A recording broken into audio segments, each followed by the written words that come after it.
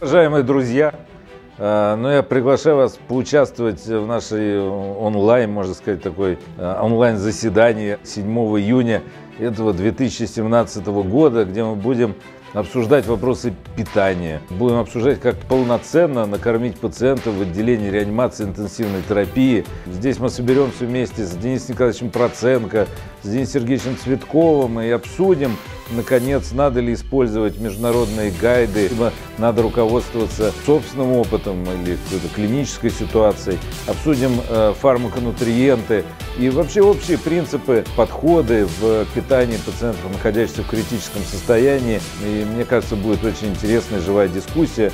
Э, предлагаем вам в ней поучаствовать э, и активно задавать свои вопросы.